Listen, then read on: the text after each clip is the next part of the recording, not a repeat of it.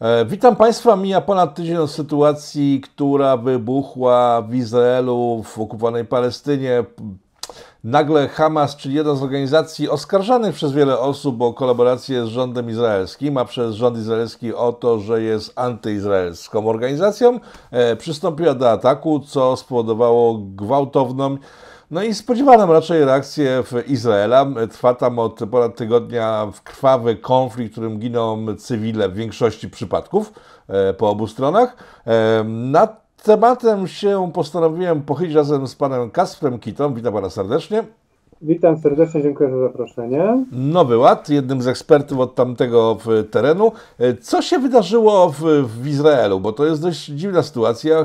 Hamas, nie mając większych szans teoretycznie na jakikolwiek sukces, e, przystąpił do szeroko zakrojonych działań zbrojnych E, pokonał żelazną kopułę, pokonał niepokonywalną granicę izraelską. Wyglądało to dość dziwnie. E, od początku wiadomo było raczej, że nie mają szans na jakikolwiek sukces militarny w dłuższej perspektywie, że Izrael ich zmiecie. Tymczasem doszło do tego ataku. E, dlaczego? No, nie mają rzeczywiście szans, nie mieli szans na atak, na sukces w dłuższej perspektywie, znaczy nie zajęcie Izraela po prostu. Natomiast mieli szansę i tutaj osiągnęli niewątpliwie sukces, jeśli chodzi o to, żeby zadać Izraelczykom duże straty i żeby e, bojownicy Hamasu przedostali się na terytorium Izraela aż, aż 20, przez aż dwadzieścia kilka miejsc, w których przekroczyli granicę strefy gazy z Izraelem e, i zadali duże straty i wojsku izraelskiemu, i cywilom izraelskim i porwali 199 e, według, według oficjalnych danych przekazanych Izraelowi osób jako zakładników, których będą chcieli wymienić na swoich własnych e, bojowników e, trzymanych w izraelskim więzieniu. E, dlaczego im się to udało? Moim zdaniem główna przyczyna jest taka, że Izrael mm, przerzucił większość swoich sił na zachodni brzeg. Musimy sobie uświadomić, że Palestyna, chociaż no nie funkcjonuje jako normalne państwo, ale mamy dwa jakby terytoria kontrolowane przez Palestyńczyków, czyli właśnie strefę gazy, która kiedyś należała do Egiptu, mm, później została przez Izrael przejęta w 1967 roku podczas wojny sześcionowej, pierwotnie miała być częścią państwa palestyńskiego, które gdyby nigdy nie powstało, a z drugiej strony mamy e, zachodni brzeg Jordanu, który jest, e, no właśnie, należał, e, też miał być częścią państwa palestyńskiego, później, kiedy, kiedy Izrael powstał, a nie powstało państwo palestyńskie, no to należał do Jordanii, a dzisiaj jest tam częściowo autonomia palestyńska, chociaż praktyce to terytorium jest mocno poprzedzielane przez y, żydowskie osiedla, e, autostrady, na, na, na terenie których nie mogą e, się pojawiać e, Palestyńczycy i tak dalej. Ale jeśli chodzi o. I, I, właśnie ten zachodni brzeg to było coś, na czym Izraelczycy się skupili w ostatnich kilku miesiącach. Po tym, jak w grudniu przejął władzę rząd, kolejny rząd Netanyahu, tym razem już bardzo wyraziście e, prawicowy, czy, czy wręcz nacjonalistyczny, z szowinistyczną partią Żydowska Siła i Tamara Ben-Gwira, który został ministrem bezpieczeństwa narodowego. I e, dla tych środowisk, które dostały władzę, absolutnym priorytetem było e, osiedlanie kolejnych e, żydowskich osadników na terytorium zachodniego brzegu. I kazali również wojsku, policji, skupić się właśnie na tym, żeby ochraniać tych e, osadników i żeby po prostu przepędzać kolejnych Palestyńczyków z terytorium zachodniego brzegu, e, żeby po prostu stopniowo zachodni brzeg judeizować. E, I wydaje się, że no, na przykład ten festiwal, tak, to jest, to jest niesamowite, że festiwal, który odbywał się kilkadziesiąt kilometrów, festiwal muzyczny od, od strefy gazy, nie miał porządnej obstawy policyjnej ani wojskowej. Co, gdzie, gdzie normalnie w Izraelu praktycznie wszystkie wydarzenia publiczne na większą skalę mają taką obstawę, ponieważ wiadomo po prostu, e, że e, bojownicy palestyńscy mogą zaatakować w dowolnym momencie. No i w, w, tej sytuacji, w tej sytuacji wydaje się, że tutaj doszło do po prostu daleko idących zaniedbań ze strony izraelskiego rządu, izraelskiego wywiadu, który też takiego ataku najwyraźniej nie przewidział, izraelskiego wojska. No, co doprowadziło do tego, do czego doprowadziło, czyli do największych strat izraelskich tak naprawdę od pierwszej wojny o powstanie Izraela, czyli y, od końcówki lat 40. Największych strat skupionych w ciągu kilku dni. No ale właśnie, przewidział czy nie przewidział? Bo Egipt poinformował zaraz po ataku, że informował Izrael dobre kilka dni wcześniej o tym ataku. Izrael zaprzeczył tym informacjom e, i wtedy administracja amerykańska potwierdziła, że owszem, wiadomo było o tym ataku e, i także przekazywali informacje Izraelowi, więc nie mogą twierdzić, że nie byli poinformowani o tym, że istnieje delikatnie rzecz mówiąc zagrożenie e, ze strony strefy gazy. Albo te, albo te sygnały zlekceważyli całkowicie i po prostu pycha ich tutaj zjadła, że Hamas nie jest w stanie czegoś takiego na dużą skalę przeprowadzić, albo ewentualnie mogło tutaj dojść do, jakiego, do, do jakiejś rozgrywki wewnętrznej. Tutaj na pewno będzie mnóstwo teorii e, na, na temat tego, kto dokładnie wiedział, kto kogo nie poinformował, ponieważ musimy pamiętać o tym, że w Izraelu mamy bardzo poważny konflikt wewnętrzny. E, mamy premiera Netanyahu, mamy jego koalicjantów, którzy też nie stanowią jedności, mamy wojsko, które, e, które w ostatnich miesiącach wyraźnie e, występowało po stronie raczej opozycji przeciwko, przeciwko premierowi Netanyahu. Widzieliśmy to chociażby wiosną. E, mamy tutaj służby izraelskie, które też raczej należą do tego starego establishmentu, który z niechęcią patrzy na ten obóz narodowo-religijny, więc można tutaj snuć teorię, kto, kto kogo nie poinformował, kto może kogoś chciał wpuścić w maliny, kto tutaj nie przekazał jakiejś informacji, kto może chciał, żeby doszło do, doszło do kompromitacji e, czy rządu, czy wojska, no przede wszystkim oczywiście w, w oczach opinii publicznej za to odpowiedzialność ponosi Netanyahu, no ale z drugiej strony on sam miał e, o, o tym te informacje dostać, więc sytuacja jest, sytuacja jest bardzo dziwna. Oczywiście też można, mm, można by teoretycznie snuć teorię, że może ktoś chciał, prawda, żeby doszło do takiego ataku. Liczę, że ten atak tak naprawdę nie będzie na taką skalę, a w zamian za to będzie można tym bardziej się rozprawić z Palestyńczykami, prawda? Kolejny raz atakują, no to tym bardziej my musimy tutaj ostro, krwawo odpowiedzieć. Więc tego też nie można wykluczać, że ktoś e, stwierdził, że no dobra, oni sobie zaatakują, mm, no to tak, my, my, na to odpowiemy, ale nie przewidział e, być może skali tego e, i sukcesu tego ataku. Myślę, że to będzie tak jak zwykle, czyli Palestyńczycy wystrzelą sobie trochę rakiet, zginą trzy osoby, i nie będzie to taka wielka sprawa.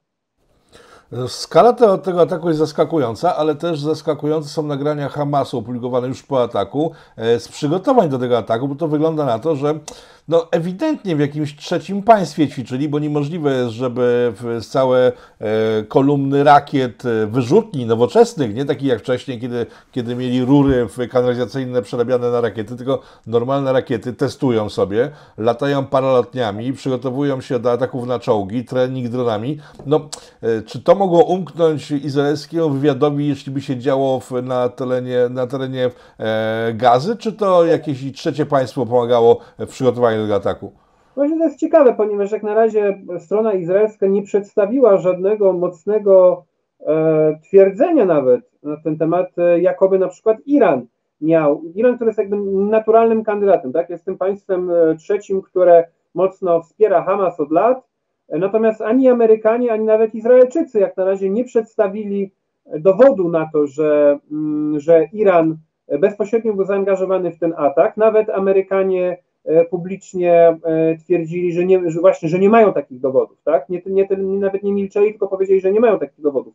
Więc to jest rzeczywiście zastanawiające, ponieważ to by oznaczało, że Izraelczycy naprawdę mocno mm, e, nie kontrolowali tego, co, co Hamas robi, nie, albo z jakiegoś powodu nie są w stanie tego udowodnić. No, raczej bym się po nich nie spodziewał tego, żeby ukrywali jakiekolwiek dowody na, na udział Iranu, jeżeli by je mieli, ponieważ do tej pory zawsze byli chętni wręcz na siłę wszystko przypisywać, e, przypisywać Iranowi. Wiadomo, że Hamas z zewnątrz jest właśnie wspierany przede wszystkim przez Iran, e, no i e, po części również przez, przez Katar, ma też, ma też w miarę poprawne, no dość dobre relacje z Rosją, ale też ja bym ja bym był bardzo ostrożny, bo w polskich mediach się pojawiło wiele takich stwierdzeń, że to na pewno Rosja wybrała ten moment, żeby zaatakować. No jednak wydaje mi się, że e, no mówiąc, mówiąc wprost, Palestyńczycy nie potrzebują e, rosyjskich zachęt, żeby atakować Izrael, mm, zdecydowanie. Natomiast oczywiście e, pytanie o pomoc sprzętową i tak dalej, no to, to jak najbardziej myślę, że taka pomoc sprzętowa na przestrzeni jak irańska czy rosyjska była. Jeśli chodzi o takie treningi, to z pewnością też. E, natomiast myślę, że sam moment ataku mm, sama decyzja o takim ataku, no to musiała być jednak ostatecznie należeć do Hamasu, ponieważ po prostu nikt nie jest w stanie z zewnątrz zmusić Hamasu do tego, żeby prowadził tak ryzykowną e, operację na taką skalę. Oni się do tego ewidentnie wiele lat przygotowywali i oni musieli, e, o, o, oni jakby korzystają ze wsparcia innych państw, ale to nie jest tak, że są czyimiś wasalami, którzy po prostu wykonują rozkazy. To jest jednak e, złożony układ, w którym, w którym oni musieli ostatecznie nacisnąć spust. Mhm.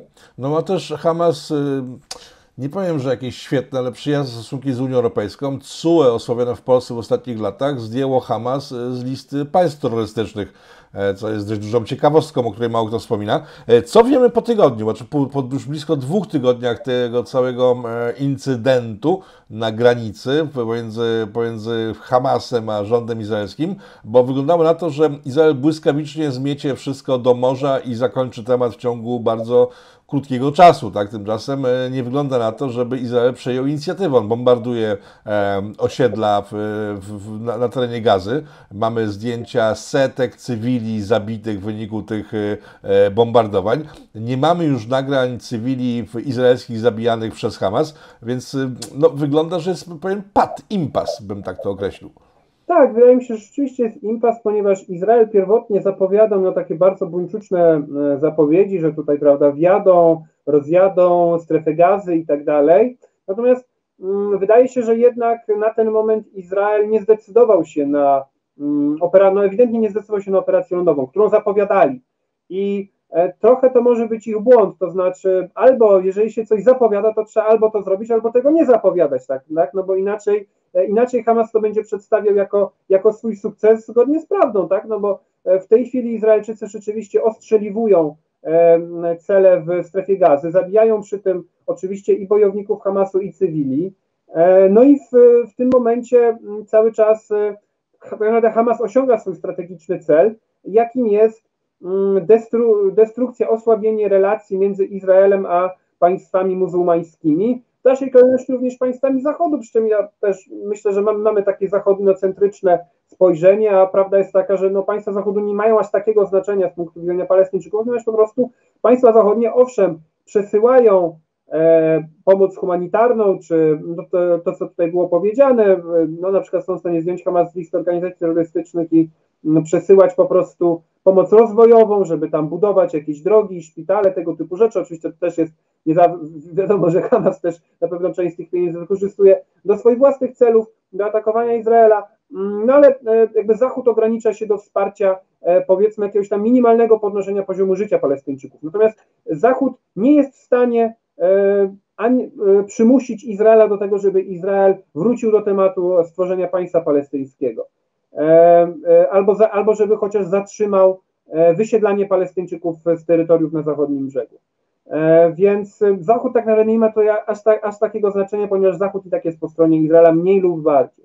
Chociaż, chociaż niewątpliwie opinia publiczna zachodnia też, no nie, na pewno te obrazki działają negatywnie na, na to, jak Izrael jest odbierany i na, na poziom tego poparcia dla, dla Izraela, prawda? No to też jest charakterystyczne, że, że wypowiedzi zachodnie są takie raczej neutralne w ostatnich dniach e, zachodnich przywódców, a wypowiedzi świata muzułmańskiego są jednoznacznie propalestyńskie, tak? I to również tych państw, które, e, które często były oskarżone o zdradę Palestyńczyków, które, e, które też na pewno są pod presją swoich własnych opinii, mm, e, opinii publicznych w poszczególnych, w poszczególnych krajach, także państwa, które mają dzisiaj stosunki dyplomatyczne z Izraelem. E, Izrael bardzo mocno atakują, mówią właśnie o zabijaniu cywili, o, o nieprzestrzeganiu prawa międzynarodowego i tak dalej.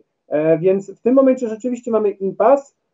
Miała, miało ten impas jakoś rozstrzygnąć, czy była taka, był taki pomysł, wizyta prezydenta Bidena, który E, który e, miał przylecieć do Izraela, następnie i spotkać się tam z Netanyahu, z premierem Izraela, a potem w Jordanii spotkać się z e, przywódcami właśnie tych państw arabskich, z przedstawicielami Egiptu, Jordanii, mm, Arabii Saudyjskiej, no, Zjednoczonych Emiratów Arabskich. Natomiast w tym momencie i pales, przywódcą Palestyny Abbasem, autonomii palestyńskiej, czyli tego, co kontroluje zachodni brzeg, Hamas kontroluje strefę gazy, Abbas kontroluje zachodni brzeg, natomiast w tym momencie e, Biden się z nimi nie spotka, e, ponieważ e, doszło do bombardowania szpitala w, w, w gazie i w związku z tym państwa arabskie mm, nie chcą, no, jednoznacznie potępiły to, to wydarzenie i, i, i ten szczyt z udziałem Bidena został odwołany.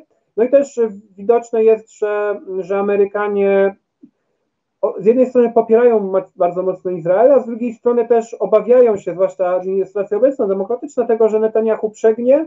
E, no i tutaj też charakterystyczne są wypowiedzi.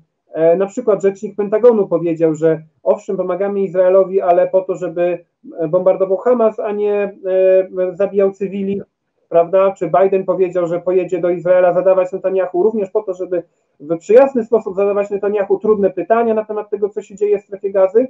I wydaje się, że, że tutaj ta presja mm, również, również na Izrael może narastać, ponieważ no, wejście mm, do, do strefy gazy, no to byłoby, byłoby naprawdę ryzykowne, no bo tam jest jednak naprawdę ponad 2 miliony ludzi, tak? No nie da się 2 milionów ludzi zabić, nie da się tych 2 milionów ludzi przepę, e, przepędzić, e, bo ani Egipt, ani Jordania e, ich nie chcą, ani Liban, więc w tym momencie rzeczywiście mamy, mamy impas, bo e, Izrael, e, Izrael po prostu e, ostrzeliwuje te terytoria. Zobaczymy, tutaj mamy wielu pośredników, którzy próbują, próbują pośredniczyć w jakichś negocjacjach. Mamy właśnie USA, Turcję, Egipt, Jordanię zobaczymy, czy, czy na jakimś etapie dojdzie do jakiegoś zawieszenia broni porozumienia. Na razie mamy raczej impas.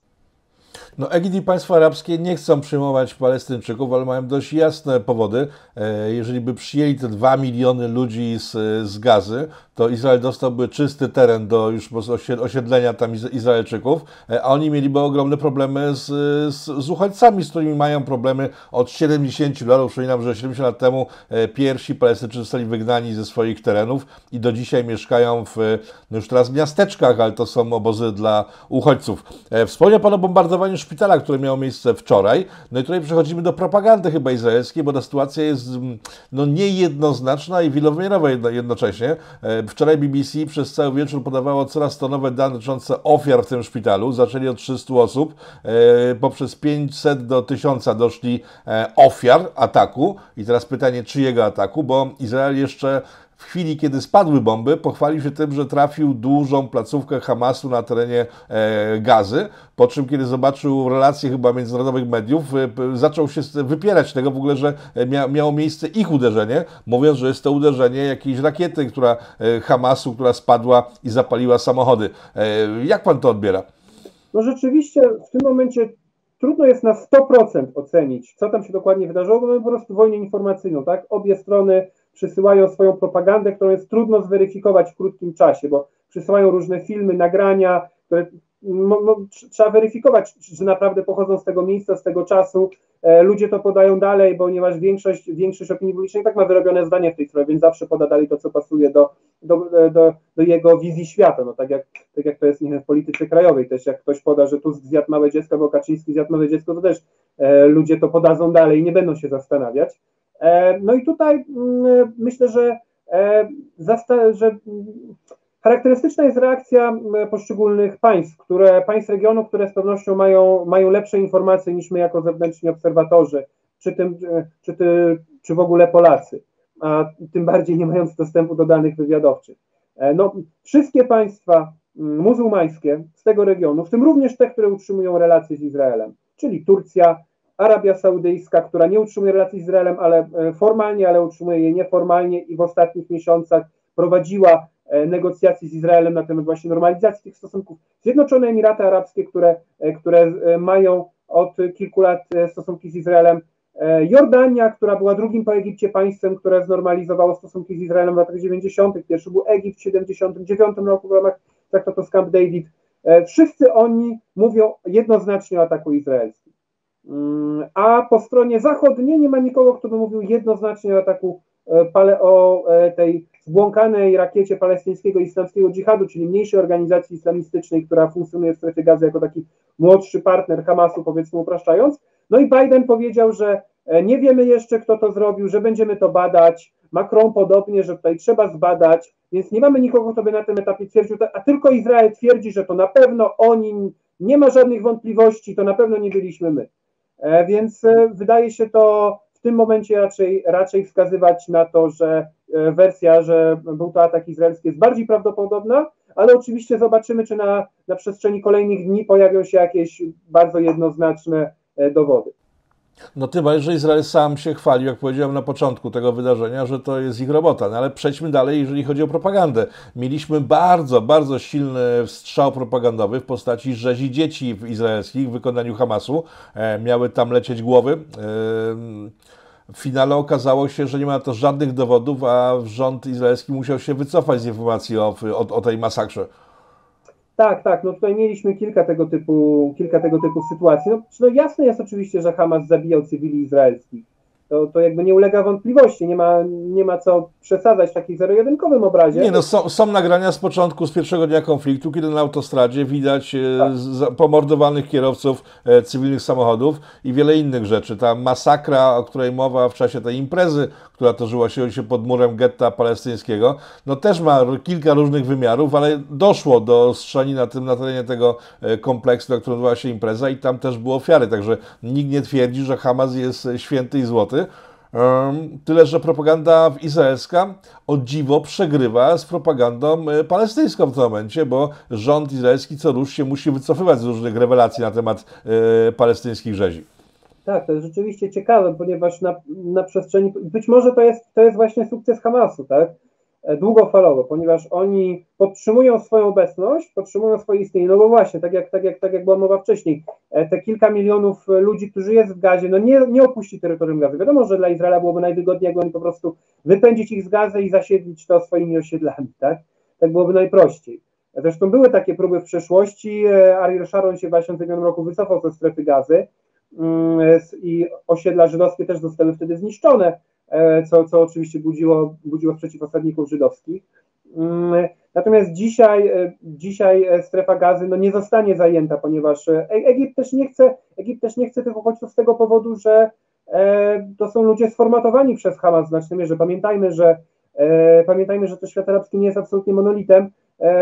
Strefa gazy to jest, to jest miejsce, w którym około połowy ludności to są, to są ludzie nieletni, czyli ludzie, którzy często E, nie znają innego rządu niż Hamas, ponieważ jak mają 16-17 lat, a Hamas rządzi od lat 16, no to nie znają, tak? Nawet jak mają 20 parę, no to też byli dziećmi, jak Hamas przyjął władzę. Hamas to jest jedyne, co znają. Hamas e, formatuje ich w taki sposób, e, w takiej narracji islamskiej, bardzo ostro antyizraelskiej mm, i Egipt, który jest rządzony przez prezydenta wojskowego Sisiego, który obalił w zamachu stanu w 2013 roku, 10 lat temu, Bractwo Muzułmańskie, prezydenta Mursiego, wybranego w jedynych w historii Egiptu demokratycznych wyborach. Mm, no, e, absolutnie nie chcę tutaj ludzi sformatowanych przez Bractwo Muzułmańskie i to jeszcze w takiej wersji hard, jakim jest, e, jaką jest Hamas. Więc wracając, wracając do, tej, e, do tej propagandy. Mm, no właśnie, to jest, to jest bardzo ciekawe, ponieważ czy w, czy w sprawie tych, tych, tych masakr, które przez Izrael były w przesadny sposób przedstawiane, niektóre z nich, znów, niektóre z nich wiadomo, że część z nich oczywiście miała miejsce, Podobnie, podobnie było w, w bardzo wielu innych e, sprawach też, też na przestrzeni lat, w których właśnie mm, Izrael ewidentnie naciągał wersję wydarzeń. Chociażby mieliśmy, mieliśmy słynne, ja o tym mówiłem w poprzednim nagraniu na tym kanale, e, zabójstwo e, palestyńskiej dziennikarki, zresztą chrześcijanki mającej amerykańskie obywatelstwo, która została zastrzelona przez izraelskiego żołnierza. Izrael twierdził, że zbłąkana kula, nieznani sprawcy, nawet kiedy Amerykanie oficjalnie powiedzieli, że oni powinni, tutaj no bo jednak kurde obywatelka amerykańska, tak, powinni znaleźć winnego i go ukarać, nawet, nawet jakiegoś kozła ofiarnego dla przykładu, to nic, nie ma żadnego, nie ma żadnego winnego, nie ma żadnego śledztwa, nic się nie wydarzyło. A to zresztą Mało tego, na pogrzebie tej dziennikarki pojawiła się armia izraelska i policja i próbowała zrzucić trumnę z ramion prowadzących procesję na ziemię, także to to była sytuacja kuriozalna i po prostu nie do przyjęcia, jeżeli chodzi o nasze standardy. Tak, tak, to zresztą wcześniej, wcześniej żołnierze nawet wtarg izraelscy wtargnęli do szpitala, w którym były zwłoki tej kobiety i spałowali żałobników i lekarzy, no, rzucając nawet granaty hukowe. E, więc to było absolutne horrendum, e, co zresztą było nagłaśniane przez społeczność chrześcijańską w Jerozolimie, e, ponieważ właśnie ona była chrześcijanką, szpital był chrześcijański świętego Józefa. Zresztą ten zbombardowany teraz Szpital też był chrześcijański, anglikański, protestancki, ten, ten zbombardowany szpital w Gazie. Mm, no i tutaj kolejny raz by było widać, tak, że to jest też coś, czego Izrael nie chce, żeby zachodni świat widział, czyli że nie jest tak, że Palestyńczyk równa się Arab, równa się muzułmanin. To jest bardziej skomplikowane. Mamy inne grupy etniczne i mamy tam również chrześcijan, których nieprzypadkowo jest dzisiaj znacznie, znacznie mniej niż w Izraelu było, kiedy Izrael powstawał, tak? E, chrześcijanie, którzy są po prostu e, tak samo jak, tak samo jak muzułmanie traktowani jako, jako grupa mniejszościowa, która, która, która nie ma, której prawa są ograniczane, której utrudnia się chociażby świętowanie swoich świąt, której utrudnia się spotykanie się z rodziną, jeżeli żyją na innym terytorium, e, której też e, próbuje się zabierać kolejne, mm, e, kolejne terytoria, kolejne budynki na zasadzie, że nie wiem, że na przykład mamy dom zakonny, który, no, no mieliśmy nawet nasze Elżbietanki, prawda, ale mieliśmy też różne budynki, do których przychodzi się na zasadzie, że no, tutaj może jesteście od 130 lat w tym samym miejscu, ale trzymacie na to papiery czy macie na to papiery własnościowe, no to my, jak nie macie, no to trudno, to znaczy jesteście tu nielegalnie cały ten czas i należy to zabrać i państwo Izrael to sobie przejmie, albo jakaś e, e, organizacja żydowskich osadników. No i tutaj, e, tutaj to też trzeba mówić, ponieważ to też wywołuje spory w samym Izraelu. Mamy część Żydów, której tych bardziej liberalny, liberalno-lewicowych, którzy, którzy stają po stronie chrześcijan, ale rząd i osadnicy E, niewątpliwie, e, nie, niewątpliwie tutaj sprzyjają tem, tej judeizacji, zwłaszcza Jerozolimy. Mieliśmy na przykład sytuację, w której dziennikarz żydowski, liberalny przebrał się za księdza i został e, już po pięciu minutach opluty na ulicy, prawda? I zaatakowany kilkukrotnie. Mieliśmy niemieckiego księdza, który, któremu polecono, żeby zdjął krzyż przy, ponieważ jest, jest blisko ściany płaczu, a to jest, prawda, Jerozolima i nie powinien tutaj się obnosić z chrześcijańskimi symbolami, prawda? E, co też było zabawne, ponieważ to było w trakcie wizyty niemieckiej minister, więc to też zostało potem, potem nagłośnione. I takich sytuacji bardzo, bardzo wiele. Mm, po stronie chrześcijan wtedy wystąpił prezydent Izraela Herzog, który jest e, lewicowcem, ale no, to, były, to, to były tak naprawdę werbalne słowa. W praktyce te organizacje osadnicze, mm, skrajne, e, w znacznej mierze po prostu sobie, sobie hulają. Wspomniał Pan o tym, że Europa pomaga Palestynie i to jest źle widziane w Izraelu. Dzisiaj wysoki urzędnik armii e, izraelskiej w BBC w, w, czasie konferencji przedstawił taki oto e, speech, że musimy być liberalnym, demokratycznym, moralnym państwem, mowa o Izraelu, e, w walce z ISIS w Gazie. E, które wykorzystuje dzieci jako żywe tarcze. No i przechodzimy chyba do sedna tematu. E, czy Izrael jest liberalnym, demokratycznym państwem? Bo to jest e, pytanie, które nie jest banalne, gdyż wiele osób uważa Izrael za taką demokrację jak demokracje europejskie. Tymczasem co się dzieje w środku? Od kilku miesięcy mamy protesty, które w tej chwili ustały w wyniku tej, tej całej zawieruchy, ale też przez pierwsze dni wojny e, trwały dalej, żądając, żeby Netanyahu odszedł e, od władzy. E, powtórzę pytanie, czy Izrael jest demokratycznym, liberalnym państwem, za jakie się podaje? No zdecydowanie jest to dużo bardziej skomplikowane. Pierwsza podstawowa przyczyna jest taka, że Izrael tak naprawdę od samego początku jego istnienia jest państwem, które powstało wskutek zajęcia terytorium do którego byli również ludzie, którzy uważali je za swoje, prawda? E, wskutek po prostu żydowskiego osadnictwa, mm, które na przełomie XIX i XX, to znaczy pewna mniejszość kilkuprocentowa żydowska tam cały czas była, ale na przełomie XIX i XX wieku dużą mm, popularność zdobył ruch syjonistyczny, po prostu osiedlanie się kolejnych Żydów, którzy e, chcieli po prostu mieć swoje własne, zbudować swoje własne państwo narodowe na terenie dawnego, historycznego, starożytnego Królestwa Izraela. Uważali też, że te tereny należą Bóg im po prostu je dał i powinny należeć do narodu żydowskiego. Chcieli też się często wynieść z Europy, gdzie byli prześladowani, pogromy, e, nie czuli się u siebie i tak dalej. No więc e, wskutek tego osadnictwa i wskutek e, te, tego, że państwa zachodnie wsparły tutaj ten ruch syjonistyczny, miały powstać w 1948 roku dwa państwa, państwo żydowskie i państwo palestyńskie, państwo arabskie, upraszczając i e, nie powstały, ponieważ e, strona, e, z jednej strony strona arabska odrzuciła to porozumienie, ponieważ było ono, ten, ten projekt ONZ-u, ponieważ był, faworyzował wyraźnie stronę żydowską pod tym względem, że Żydzi, których było mniej, dostawali więcej terytorium i dostawali terytorium, które, na którym mieli tylko większość 55%, więc jakby było dużo Arabów, którzy zostało pod, pod kontrolą Żydów, a w drugą stronę Arabowie dostali tylko te tereny, na których byli praktycznie sami Arabowie. E, no i tak naprawdę to jest problem, to jest taka kwadratura koła, która się ciągnie od samego początku. To znaczy, z jednej strony Izrael jest demokratycznym państwem pod względem tego, jak Żydzi między sobą organizują swoje stosunki w znacznej mierze, ale jeśli chodzi o to, jak są traktowani przedstawiciele mniejszości etnicznych, no to to już bardzo różnie wygląda. Mamy mniejszość arabską, mamy Arabów, którzy mają izraelskie obywatelstwo, ale większość tych ludzi, którzy była na tym terytorium, została y, albo żyje w strefie gazy, albo na zachodnim brzegu, albo została też, y, albo żyje w Izraelu bez obywatelstwa, ale też została często wygnana, tak? Mamy właśnie Nakbę słynną, czyli katastrofę w 1948 roku, która polegała na tym, że po prostu 700 tysięcy Palestyńczyków zostało wygnanych ze swoich terytorium i tym samym Izrael zajął nie tylko wszystkie, oczywiście skutek wygranej wojny, tak wywalczyli to sobie po prostu w starciu z państwami arabskimi, które nie chciały w ogóle pozwolić na powstanie państwa żydowskiego. Mm, ale Izrael sobie wywalczył nie tylko te, tery, te tereny, które, mia, które miały być częścią państwa żydowskiego e, zgodnie z planem ONZ, ale również dodatkowe tereny. Tym samym przejmując zdecydowaną większość tego dawnego brytyjskiego mandatu Palestyny i spychając e, Arabów e, do mniejszości i zajmując również dużą część ich domów, nie, nie, pozwalając im na powroty tym, którzy zostali wygnani i tak i tak dalej, a jednocześnie prowadząc cały czas żydowskie osadnictwo z całego mm, świata. E, no i e, pod tym względem mamy e, w tej chwili w Izraelu różne wizje, tak? Znaczy jeszcze, jeszcze kiedy w 67 roku, w 67 roku zdobyto kolejne terytoria, to tym więcej zrobiło się tych Arabów.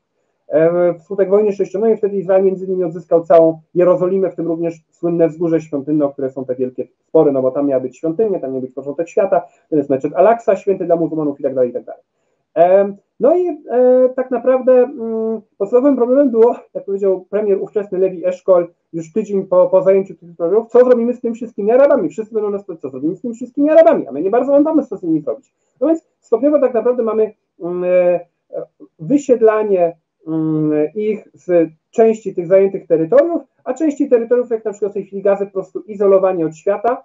Mm, w praktyce oczywiście też po stronie palestyńskiej mamy mamy jak najbardziej również zamachy terrorystyczne, mamy, ma, mamy organizacje islamistyczne, takie jak Hamas i mamy, mamy takich trochę stetryczałych kleptokratów, jak e, prezydent Abbas, który, który rządzi autonomią palestyńską, ma 19 rok swojej czteroletniej kadencji, jest mu bardzo wygodnie, jemu, jego rodzinie, jego bliskim, prawda? Też absolutnie nie ma co tutaj tej e, po politycznej strony palestyńskiej idealizować. E, natomiast mm, no, wydaje mi się, że e, w Izraelu mieliśmy też różne wizje tego, co z tym zrobić. Część Żydów chciała e, po prostu stworzyć, stworzyć, no tak też powstała autonomia palestyńska, dać Palestyńczykom jakąś autonomię na części terytoriów i na zasadzie damy im trochę terytoriów, zamiast za to oni się wyrzekną terroryzmu, ataków na nas i jakoś tam spróbujemy ze sobą obok siebie żyć. A z drugiej strony mieliśmy opcję absolutnie nie, e, cała ta ziemia należy do nas, trzeba po prostu stopniowo zajmować tyle terytoriów, ile jesteśmy w stanie utrzymać. No i e, mieliśmy tutaj na początku lat 90. bardzo ostre starcie w tym temacie, ponieważ kiedy ta opcja bardziej mm, e, powiedzmy e, na pojednanie, czy reprezentowana przede wszystkim przez premiera Icaka Rabina, stworzyła autonomię palestyńską w porozumieniu z Arafatem, który złożył broń jako OWP, przestał robić zamachy. Mieliśmy prezydenta Clintona, który temu patronował, też demokratę. Mm, no, wszyscy dostali Nobla pokojowego, a w praktyce rabin został zastrzelony przez żydowskiego nacjonalistę. Wdowa po rabinie zresztą obwiniła o to mm, ówczesnego lidera opozycji, a później wieloletniego premiera, czyli Benjamina Netanyahu, który później sam został premierem, właśnie na haśle nie oddamy Palestyńczykom Jerozolimy, o co oskarżał Peresa.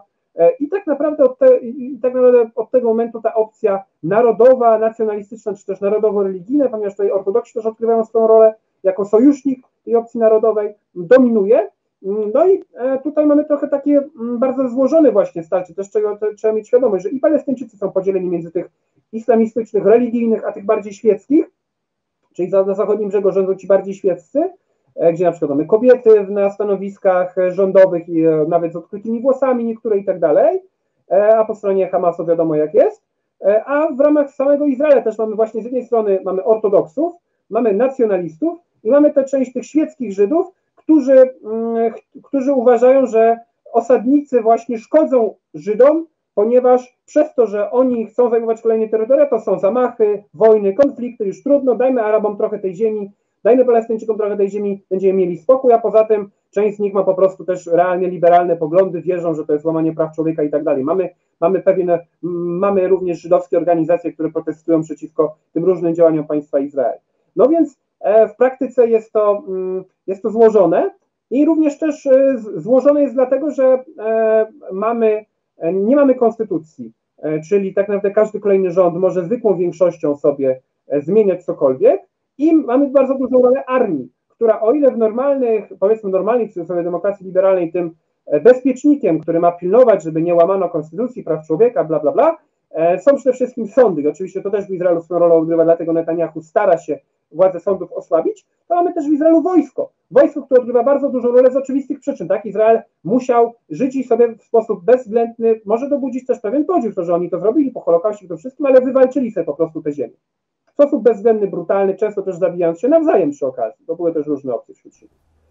No tak, to prawda. Tylko teraz pytanie, czy jest szansa na odwrócenie tej sytuacji? Moim zdaniem niewielka, bo jeżeli mówimy o zachodnim brzegu, wiele osób postrzega zachodni brzeg jako Palestynę, tak? Mhm. E, tymczasem nie ma takiego czegoś jak Palestyna w Palestynie na zachodnim brzegu, e, bo tamte władze z Ramallah e, nie mają zbyt dużej władzy nad tym terenem, bo cały czas terytorium zachodniego brzegu jest okrojane przez Izrael na potrzeby osadników.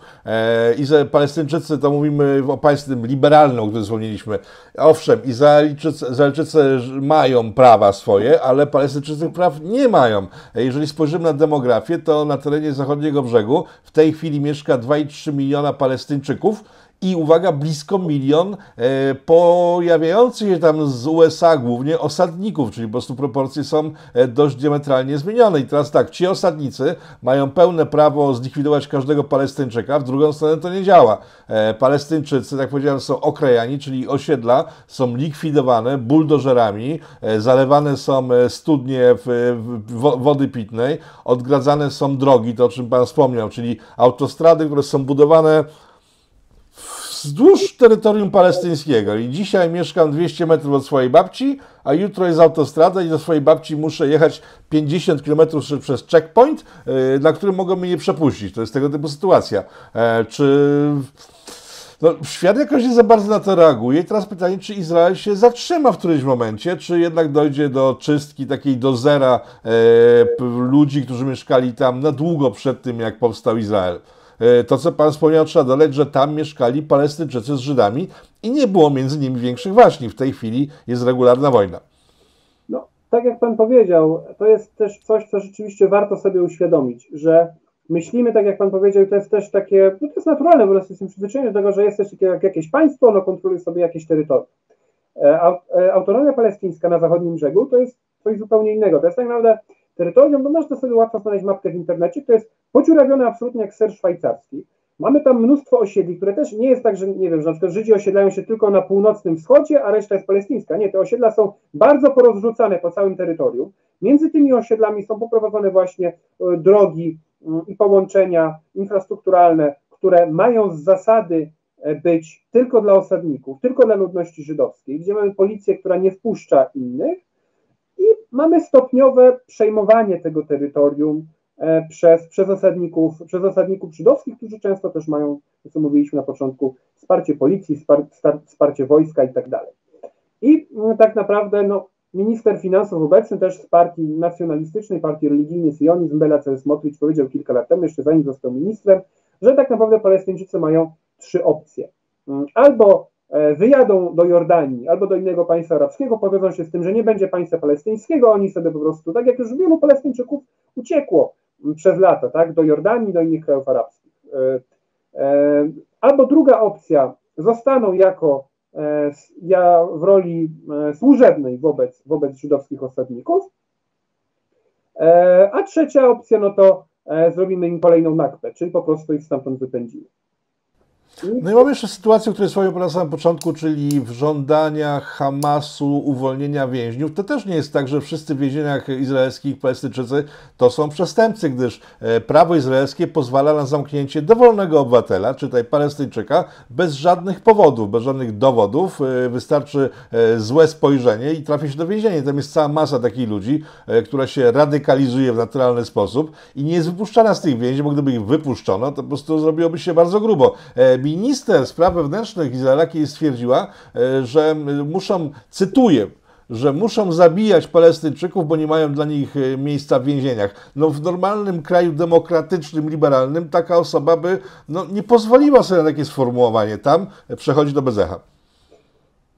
jak widać, nie przychodzi tak całkiem bez echa, ponieważ jednak dociera do nas, ale... Do nas tak, ale tam w ogóle nikt tym się nie przejmuje. Jest, pewna, jest pewien odsetek e, liberalnych Żydów, którzy przeciwko temu protestują, ale to jest mniejszość, to jest mniejszość, tak? E, e, też w tej chwili politycznie oni są, oni przez swoje własne błędy zostali zmarginalizowani, e, bo po prostu Netanyahu i jego koledzy narzucili taką bardzo prostą narrację. Albo jesteś prawicowcem narodowym, jesteś za, za osadnikami, albo jesteś, e, prawda, nie jesteś patriotą, jesteś zdrajcą, jesteś jak Hitler, chcesz zabijać Żydów i tak dalej. I tutaj ciekawe jest to, czy wskutek mm, tego ataku obecnego Hamasu nie do, nastroje społeczne zmienią się w kierunku trzeba jeszcze bardziej strzelać, czy w kierunku znów takim jak było w latach 90., że naprawdę to już jest dość, trudno, trzeba się jakoś z nimi dogadać. Bo to też nie jest wykluczone. W tej chwili Netanyahu mocno stracił w sondażach, a zyskał ge, emerytowany generał Benny Gantz, który jest z tej bardziej centrowej opozycji, która oczywiście też absolutnie nie jest propalestyński, ale jest jednak bardziej na zasadzie, to jest tak jak z tym podejściem wojskowych do reformy wymiaru sprawiedliwości. To nie jest tak, że oni jakoś bardzo wierzą w demokrację liberalną czy prawa człowieka. Oni są po prostu za stabilnością. I uważają, że Netanyahu czy mm, ci skrajni nacjonaliści w rodzaju Bengira po prostu przeginają i dochodzi do wewnętrznych zawierów, które osłabiają państwo. I podobnie jest w tym wypadku, że być może e, po prostu e, trzeba trochę zluzować tę politykę i spróbować się dogadać, ponieważ po prostu jest to, jest to szkodliwe dla, samych, e, dla, dla samej ludności żydowskiej. Ale zobaczymy, czy, bo Netanyahu ma większość do listopada 26 roku, jeżeli ją utrzyma, jeżeli jego koalicja się nie rozpadnie, to, to on może sobie tak jeszcze kolejne 3 lata przynajmniej rządzić, do tego czasu nastroje się mogą milion razy zmienić. Mm, więc e, tak, e, tak, rzeczywiście jest tak, że bardzo wiele twierdzeń Palestyny, to, to, to, jest trochę tak samo, jak myśmy mieli kiedyś, e, mm, jak, jak byliśmy pod zaborami. No z jednej strony E, przez to, że sytuacja politycznie jest beznadziejna, nie ma żadnych perspektyw na powstanie państwa palestyńskiego normalnego, to tym bardziej ludzie się radykalizują, wybierają terroryzm, e, ponieważ wydaje mi się to tak naprawdę jedyna droga wpływu na rzeczywistość, co tym bardziej pozwala na mówienie, zobaczcie, to są terroryści, e, trzeba na nich strzelać i tak to się kręci, tak, tak jak byli kiedyś Polacy, którzy przeprowadzali zamachy, atakowali pociągi i tak dalej. I w efekcie cierpiała ludność cywilna. Tak, Czyli tak, tak omówiliśmy sobie sytuację w Izraelu w kontrze do Palestyny, która nie istnieje, chociaż jednak funkcjonuje w jakiś sposób. E, nie, dzisiaj chyba nie znajdziemy czasu na opisanie całej sytuacji wokół Izraela, bo Izrael to nie jest tylko wojna palestyńsko-izraelska, ale to jest także Syria bombardowana systematycznie przez Izrael, e, to jest Iran, który nie lubi Izraela, to jest Egipt, który jest w konflikcie, chociaż wygląda na to, że chwilowo e, zawieszonym, a wszystko to sprowadza się do jednego, do fali emigracji z tamtego rejonu e, do Europy, która to no, zaczyna kipieć od tego dobrobytu zrzuconego przez Izrael na Europę. Ale o tym myślę porozmawiam w kolejnym programie. E, Kacper Kita, Nowy Ład był Państwa i moim gościem. Bardzo Panu serdecznie dziękuję i zapraszam na kolejne spotkanie. Dziękuję serdecznie, do usłyszenia.